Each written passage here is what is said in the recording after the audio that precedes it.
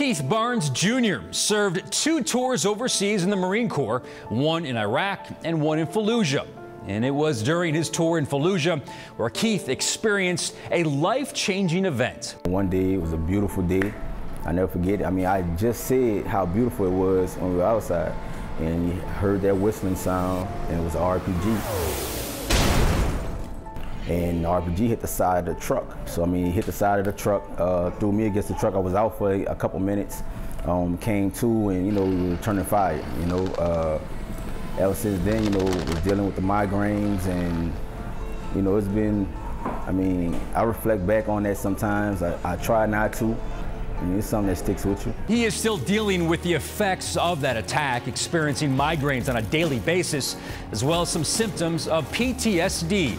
But Keith knows he always has his family at his back to love him. My family make things a lot easier.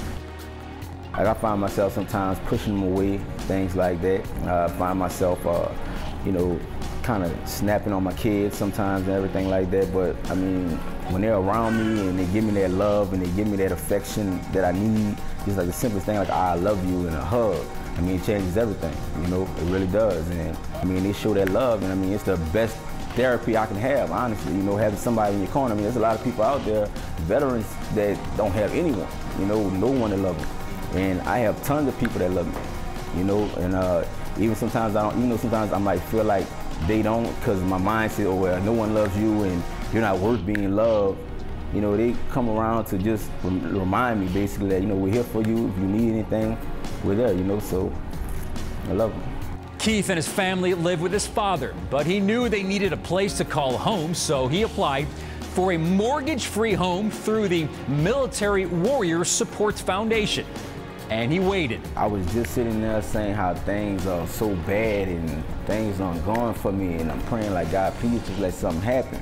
And you know, uh, you know, when I said that and I, you know, I heard about the house and everything, I wasn't sure. You know, I was like, well, you know, maybe I'll get it, maybe I won't. I, I don't know, but I won't put too much into saying, yeah, I got the house and everything, and you know, be let down. Renovated 100% mortgage-free home located in Harvey, Louisiana.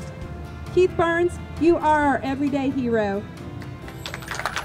So once I got that call and he said, congratulations, I don't know. I felt like felt like I was floating, you know. Uh, it seriously was like a great moment. Great moment for Keith, the one he could not wait to share with his family.